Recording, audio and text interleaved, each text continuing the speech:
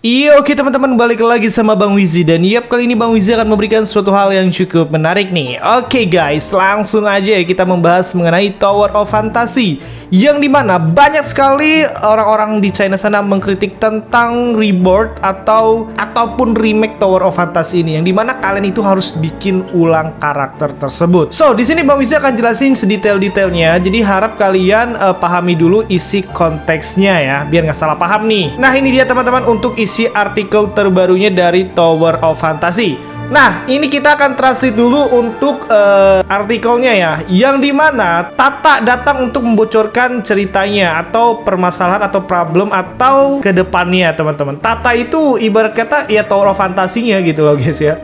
Entah kenapa disebut Tata ya kalau untuk uh, versi translate-nya. So, dikit lagi kan uh, Tower of Fantasy bakalan ulang tahun juga dan bakalan uh, hadir versi 4.0 dan Tower of Fantasy akan tinggal bersamamu atau menemanimu setidaknya 10 tahun mendatang teman-teman. Ini Tower of Fantasy udah pede banget ya Mengklaim bahwa dirinya bisa menemani kita itu hingga 10 tahun lagi gitu loh. Dalam hampir 2 tahun terakhir tim produksi Tower of Fantasy juga tumbuh dan berkembang dengan sehat. Beberapa pengembang bahkan berasal dari pionir Jadi beberapa pengembang atau beberapa staff itu berasal dari player juga teman-teman. Dan menciptakan sesuatu ya bersama para playernya. Mungkin seperti itu ya. Tower Fantasy juga menyerap masukan atau menerima masukan dari para playernya dan terus melakukan perbaikan hingga uh, Tower Fantasy diam-diam membuat keinginan untuk menemani kalian setidaknya 10 tahun lagi. Wow, luar biasa ya.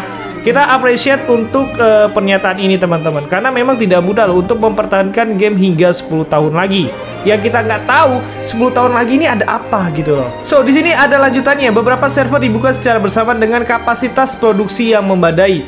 Nah server yang dimaksud ini apa sih bang? Nah server yang dimaksud ini adalah server yang di remake atau yang dibikin ulang oleh Tower of Fantasy. Jadi nanti akan dibuka secara bersamaan dan diproduksi uh, sesuai uh, kapasitasnya. Nah, di sini dituliskan kalian tidak perlu khawatir tentang kapasitas uh, server Tower of Fantasy dan bahkan uh, konten pembaruan dari server resmi akan berkurang. Nah, yang dimaksud server resmi ini adalah server Tower of Fantasy yang original, yang bukan remake.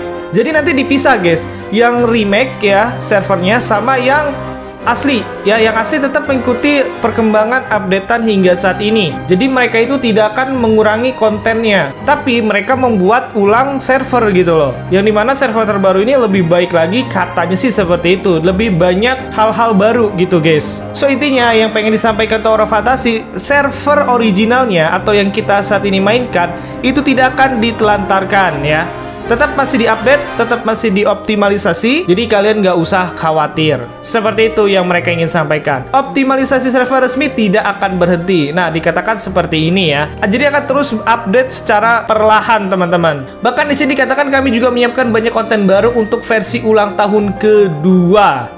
Wow, luar biasa ya. Jadi masih lanjut dan masih tetap diurus. Pengujian server retroaktif atau server yang dibikin ulang akan segera dimulai. Nah, para player dipersilakan untuk berpartisipasi dalam pengujian uh, server itu. Oke. Okay. Uh, eh, di sini Bang Wizi sangat kagum lah ya karena Toro Fantasy udah berkomitmen ingin menemani kita itu 10 tahun lagi gitu loh guys ya. Ya mudah-mudahan tercapai ya. Ya walaupun gue nggak terlalu yakin banget 10 tahun lagi gue masih bisa main game atau enggak gitu loh guys. Karena 10 tahun ini ya banyak sekali perubahan yang terjadi seperti itu. Dan satu lagi yang Bang Wizi simpulkan di sini server resmi nggak bakalan ditelantarin. Jadi nanti akan ada dua server ya guys ya. Antara server resminya yaitu nanti versi 4.0 di Toro Fantasy China dengan server remake remake-nya yang nanti akan banyak sekali perubahan dan optimalisasi untuk versi remake ini. Tapi walaupun hal seperti itu, orang-orang di sana juga tidak senang teman-teman. Nih salah satu contoh komentarnya ya yang Bang Wizi temuin. Server yang berlaku surut pada dasarnya akan menghalangi pemain baru untuk masuk ke dalam server resmi. Nah, ini dia ya, masuk akal. Jadi nanti player-player baru ini lebih baik milih ke server yang baru gitu loh daripada server yang resminya. Alias milih ya server remake aja ngapain main server yang resmi gitu loh. Karena udah ketinggalan jauh gitu kan ya. Jadi kemungkinan nanti server resminya atau server originalnya itu bakalan sepi karena tidak ada pemain baru. Yang ada hanyalah orang-orang yang bertahan alias player-player lama. Ya mungkin ya guys ya. Ya kalau kita pikir secara logika benar juga sih. Ya player baru lebih baik main di server barunya gitu loh. Nah satu lagi komentar yang menarik perhatian Bang Wizi seperti ini teman-teman. Satu minggu sebelum peluncuran server retroaktif Rebirth atau server Reborn ya atau server remake ya atau rebuild lah ya terserah kalian mau bilangnya apa. Nah, ketika server tersebut dibuka pada uh, ulang tahun kedua peluncurannya atau bisa dimaksud adalah ketika Tower of Fantasy ini ulang tahun ya, mereka meluncurkan server rebootnya. Semua orang sibuk menjual akun resmi mereka. Jadi orang-orang pada ngejualin akun-akun yang di server resmi alias server lamanya atau server originalnya. Dan mungkin mereka bakalan pindah ke server baru gitu loh guys atau server rebootnya. Ini masuk akal sih, masuk akal. Tetapi saya menjual harta benda saya dan dengan gila-gilaan menuangkan uang masuk ke server resmi. Mereka semua bilang aku gila. Mereka bilang aku ketidakadilan besar. Jadi dengan kata lain orang ini adalah well ya. Jadi mana dia top up gede-gedean gila-gilaan ya di server resmi alias server original.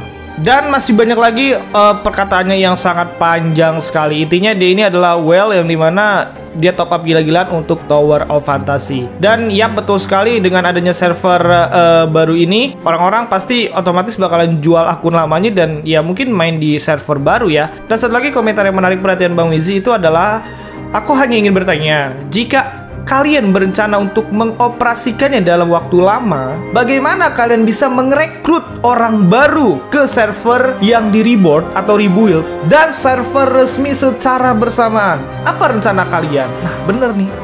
Masuk akal sih. Masuk akal banget uh, apa yang dibilang netizen Cina ini, teman-teman. Gimana caranya Tower of Fantasy ini bisa merekrut player-player baru di server resmi lamanya dengan server rebuild atau reboardnya. Nah ini ya guys ya. Nah makanya Bang Wizi juga agak bingung gitu loh. Otomatis gue yakin sih server resminya atau server eh, originalnya itu bakalan sepi guys. Tidak ada player baru yang meningkat secara signifikan gitu loh. Hmm, ini memang eh, sangat-sangat uh, sulit ya bagi Tower of Fantasy untuk melakukan hal ini. Nah, mungkin teman-teman punya pendapat pribadi gitu mengenai permasalahan yang ada di Tower of Fantasy? Coba deh nanti komen di bawah ya. Mungkinkah Tower of Fantasy ini bisa menjalankan dua server secara bersamaan dan merekrut player-player baru uh, secara bersamaan juga gitu loh. Di server resminya yang original maupun yang server barunya yang reboot. Coba kalian komen ya pendapat kalian di bawah ya. Oke, ini cukup sulit sih. Bang Wizi juga uh, bingung gitu kan ya. Apa yang dipikirkan oleh Tower of Fantasy ini ke depannya. So, kita tunggu aja berita selanjutnya dari Tower of Fantasy ini mengenai uh, server reboot atau server barunya. Oke, teman-teman itu aja untuk berita kali ini. Buat kalian selamat beraktivitas dan jangan lupa ngopi hari ini. Bye bye.